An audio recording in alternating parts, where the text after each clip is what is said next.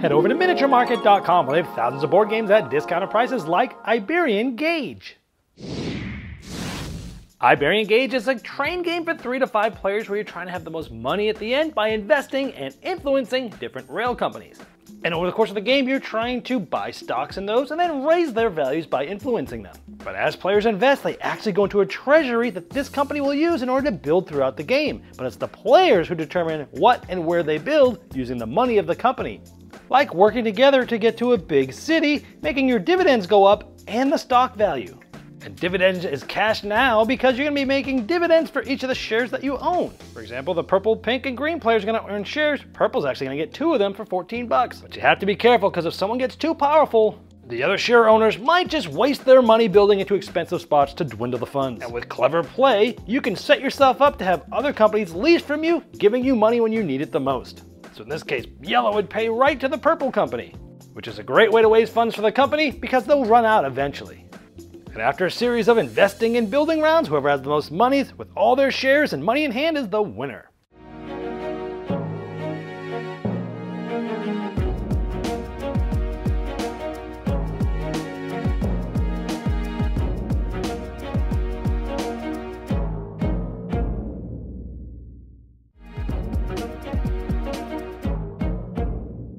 My friends, it's the Game Boy Geek here. Iberian Gauge has simple rules, one page but tons of depth. The player interaction in this game is off the charts. You're constantly either working with other players or you're purposely not and draining their companies of all the money they have because they're too powerful in that company.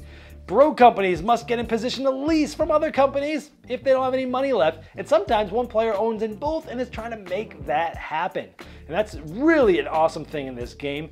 And the game is amazing. It is so awesome. It is just like, ah, it's a train game that I will probably love forever. On the downside of things, the money for the treasuries in this game really should have been a track on a board because it's very fiddly and it really slows the game down, constantly making change and making little things here and there. And the board itself is quite bland and ugly. I wish they would have made it look more engaging and you know more modern but still yet functional. But this kind of Saxophone Serenade is a fantastic one, even better than Irish Gauge, which I really liked a lot in this series.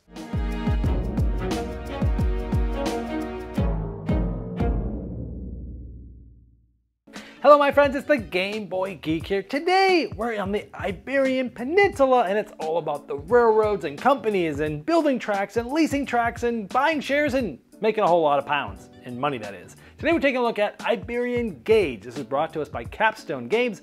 It is for three to five players. It is a rail stock market game that has some interesting twists. Let me show you those. I'll see you on the other side.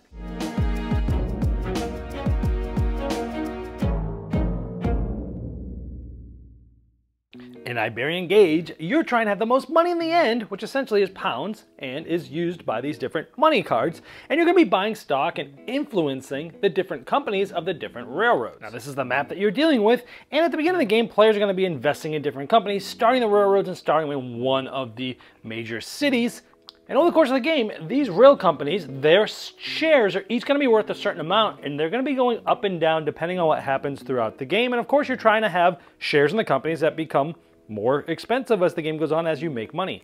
But you're also going to need capital to be working throughout the game, and so all the companies are going to be paying different dividends throughout the game as well to give you some cash to work with.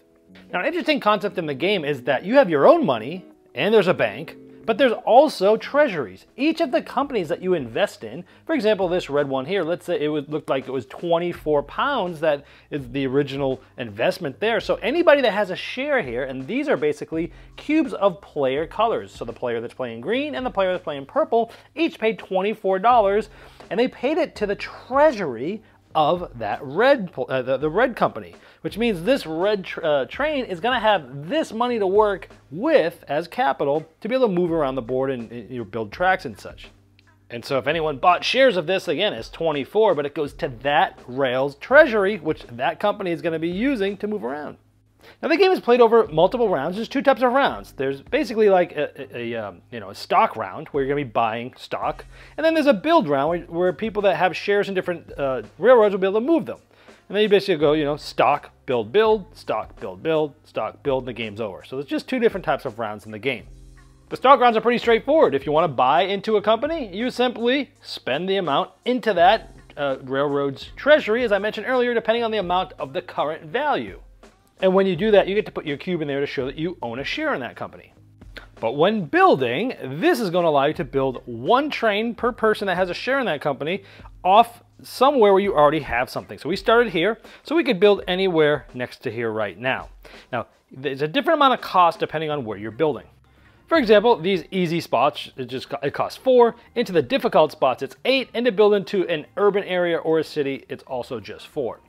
Now the way the build phase works actually is you, you actually would start from the top here and work your way down and actually the green player would be able to possibly build if they wanted to for the red railroad using its money, the railroad's money. And then the purple player would also be able to do that. And then after both players have done that, uh, it's going to pay out dividends, and that's the red railroad. And you'll see right now where it is on the dividend track, each red share owner is going to get two. And notice they're not equal, and this is interesting too because now this one actually has, the red one has six possible shares that can be bought in it. The purple one is, and the yellows, those are the most, you know, they're, they're actually worth, they, they pay out more than the other ones, but there's only four spots to buy shares in the purple and the yellow. So it sort of scales with the amount of dividends that's there. But right now, I'm just showing you the as if it was the purple is turn. Let's just say we're down here in this turn order of the building. And right now, only one player owns this. It happens to be the purple player. Uh, and they're going to, or the maroon, whatever you want to call it, will take this. And let's say they want to build into here. Remember, we said it was four. Now, building into a, a, a city or an urban area, this is an urban area, is very important in the game. Because when you do so, you'll notice that you can move your dividend up by one. Now it's going to cost, it's going to cost four. So the per, whatever player is doing this, in this case this player, they would take that $4 and they would spend it from the company's money. So they'd spend the five and they'd get one back in change. And again, because they got here, this tells them they can go up one on the dividend track. So the purple's like this. So now when this pays out, it's going to pay four instead of three, and it's going to pay it to each of the shares. Now this is another interesting concept. It's going to go to every player, but there's only one player that owns it. So this player is going to get four from the bank, but also there's three shares that aren't owned by players. So the actual treasury will get three shares of four. So this is actually going to get $12 or 12 pounds, I guess I should say. So it's interesting that as the game goes on, each time there's a build phase, the railroad is going to be making more and more money the less and less people that are invested into it. And when people do invest into it, it's going to fill up as well because they're spending money from their own money to put it into here to buy shares. So at the beginning of the game, these are going to get sort of filled up. And it's going to have a lot of working capital to kind of move around and do things. But as the game goes on and other players start buying into there, once it's completely full, when this thing pays out dividends, the players are going to be making shares, but the railroad itself doesn't. So it will start to dwindle and it will end up usually running out of funds at some point. We'll talk about how to alleviate in a moment, but if on your turn, now you're only building, each player can only build one spot. Let's say we get here, and not only are you gonna go up two in the dividends, but you're also gonna get the stock to go up once. So by getting that, you're gonna go up two, and by anytime you cross this line, you'll also move to the right. So it's actually gonna move twice, once for getting to that uh, city uh, and once for this. So it's gonna actually go up twice and it's just gone from a 16 to a 24 valuation for each share. Now we talked about running out of money, and if you do run out of money, there's only one way to get it from, from the you know the railroad's money, and that's by getting leased. Because since you're only going one spot, this is very important because if you don't get to either an urban area or a city area on your uh, in a specific round, there's a penalty. And you'll actually go down in price for every player that owns a share or every you know share that's owned by a person. So if you own, if all purple was filled up like that with four uh, players, uh, four shares, and you didn't get somewhere on a turn, it's gonna go down like a rock. And this is important because this really is a lot of interaction in the game is taking certain companies for your benefit. For example, let's say this yellow company, the blue player has three of the four shares there. Well, what can happen is the white player can really start to try to dwindle the money in there because they know that sure, they're gonna benefit, but the blue player is gonna be benefiting a lot more. So if it was the yellow's train's turn to sort of build that company, well, and it was the white player uh, player's turn, they could just hey, you know what? I'm gonna waste eight dollars and of the of the money and put it in the middle of nowhere because it's doing me no good. Because I really don't want to help this company. I could try to take it, And if it was two to two, meaning blue owned two and the white player owned one and maybe the green player owned one, the green and the white player would be working together being like, hey, let's screw this up and just try to drain all the funds because blue's just killing it on here. So there's a lot of interaction like that. Now back to running out of money. Again, one of the ways to get money after you get out, you run out with the railroad is to get leased. And leasing is pretty cool because you can normally only move one spot, you know, from anywhere that you already have one. But let's say yellow wanted to move and they wanted to get all the way to here. Well, there's one, two, three, four, five spots that purple has. And we look here, normally that would have cost them 20 pounds, five times four, but they can lease it. They're gonna lease it from that other railroad, it's only gonna cost them 10, five of those spots times two pounds. But guess what? It's coming from the, the, the, treasury of the yellow railroad, and it will actually go right into the purple's railroad. So if they were ever broken, this is a way that other railroads can make money is by leasing things, but it works out for both of them. And then yellow would actually build here for the $4 and they'd get to go up on the track of the dividends. But that's the way to make money is intentionally getting in other players' ways so that they want to lease from you and, and, give it give it money. This is also a decent strategy that sometimes players will buy into companies that are close to each other and they'll like feed money from one into the other because they know it's going to benefit them in both ways and it's a really interesting part of the strategy of the game. Another thing you're trying to do long-term strategy-wise, if you can get one of the companies to basically get to five of these major cities, it'll pay out a one-time huge bonus. It's really hard to get to happen, but you might be able to get that to happen for a sort of a longer-term strategy. I talked about the sort of the buying shares. People go in clockwise order, possibly buying shares and, and you know getting uh, putting the money into the the, the locomotive company's uh, treasury and getting shares in there, and those get paid off with dividends, as I showed you earlier. Uh, but then we talked about building, and each, you know, going top to bottom, you're going to build, and that's pretty much all you do. Shares, build, build, shares, build, build, shares, and then build.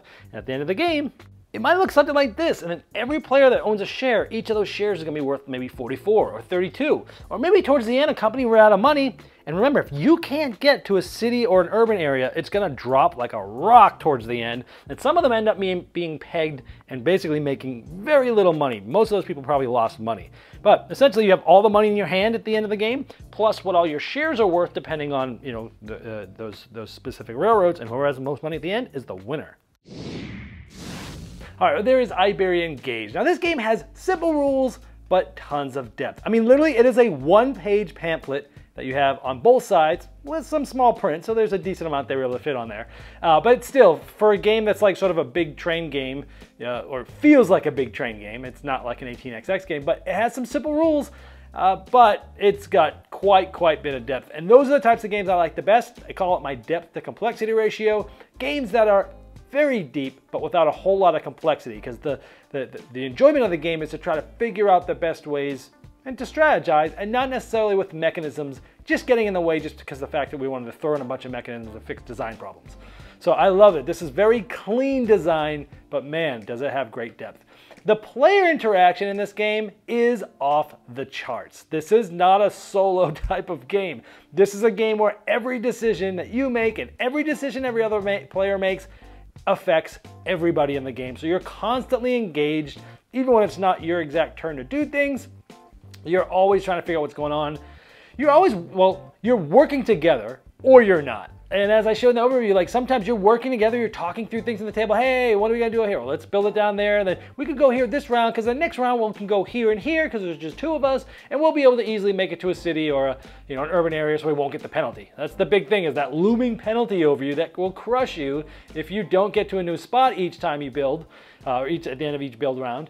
And you know, you're trying to get that done. So you're working with other players, but as I showed you there, sometimes you're not. Sometimes some player has like the majority of the shares and a couple other players have one share each and you're like, well, we're to make money anyways. This player is very motivated to do so.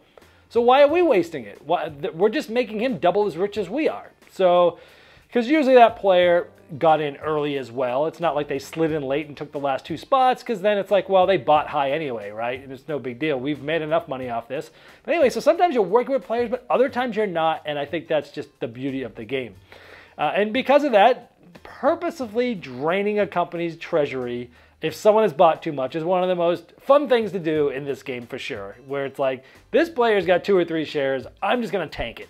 Let's just make it go here. Let's make it go into those mountains. That's very expensive. Let's drain the funds as much as we can and try not to put any other other trains near it that it will be able to, you know, get least money from.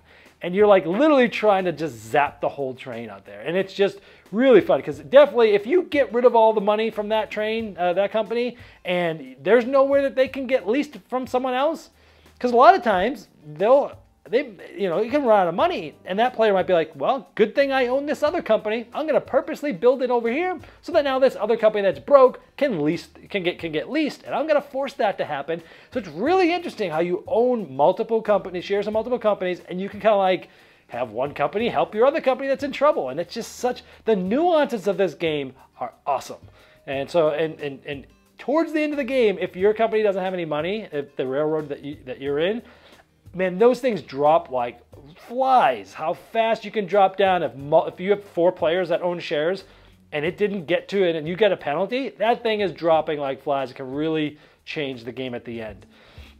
Uh, so the interaction not only between you and the players and each other, but also building trains from one company to another one you own is just it's just a brilliant design choice. And and mechanically it's very simple, but from a design space and a decision space, it's so rewarding to see how this all plays out.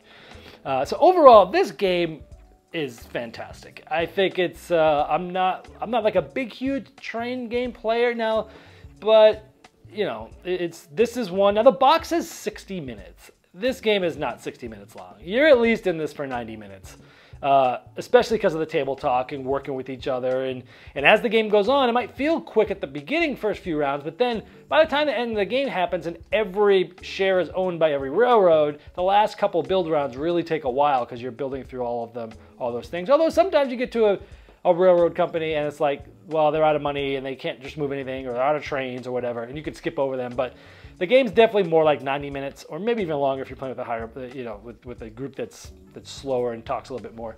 Uh, but for this, I love the game. A couple of uh, problems here. The biggest problem of this game that almost killed it, as good as the game is, is the money. And I love the idea of the treasuries uh, for the companies. That's just fantastic. But Using the actual currency in the game for that is so fiddly. You're constantly going, oh, I gotta pay from here to here. Okay, from this railroad to this railroad. Oh, I gotta make change. Let me make change over here. And I go here. Okay, red plays, blue pays this to red, and then blue pays this to the bank, and they're leasing here, then they're building here. And like all this stuff's going, and it's so fiddly, and it just slows the game down, and it's just, you're constantly making change, which is annoying and take keep a track. Of, it, there should have just been like a track or a separate board or a board on the track for each of the companies, and you just have two cubes, one for so the tens and one for the one. You know what? They have a one here and a five here. They've got 15 pounds, and you could just slide these things really quickly. It would have made the game so much more enjoyable. That like I'm gonna if there's not one on Board Game Geek now, I'm gonna go make one because everybody had a problem with this at the table, and everyone was like, "This game's amazing," but that really hurt it. So I'm just gonna try to figure out a way to make a track to make that go a lot more smoothly. Uh, and then the other thing is, you know? I love the cover of this. Ian O'Toole did the art. The board itself, you, you just walk by this game and it has zero table presence. It's ugly. Uh, it just looks very bland. It's functional and it works, but I think you could have made this functional and beautiful. You could have had the cities actually look like cities. You could have had the urban areas look like an urban area. The mountain area could have looked like a mountain, and the, the regular areas could have looked like prairies or whatever. And you could have made them look very distinct, but actually beautiful, as opposed to just a palette of like, this looks like a boring game. Like, if I walked by this game, if people were playing it, I would just keep walking. That's how boring the board looks.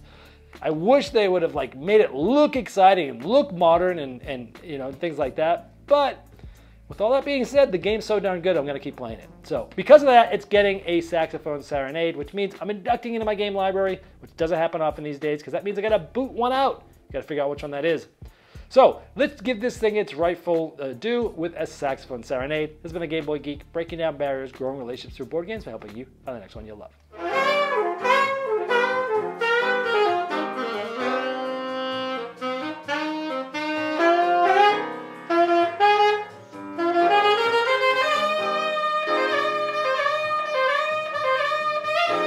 Game Toppers not only transforms your existing table to a high quality gaming solution, they now offer full leg kits and dining cover solutions for the full table application. Paired with their amazing thematic premium stitch edge mats from noted board game artists like Vincent Dutrait, collapsible cup holders, and really cool accessories, It's a complete system that upgrades every game you play. Go to GameToppersLLC.com or click the link below. oh my gosh, right off the bat. All right, well, there's Iberian Rails. And those companies are gonna be worth a certain amount, and depending on what happens in the game, they'll be going up.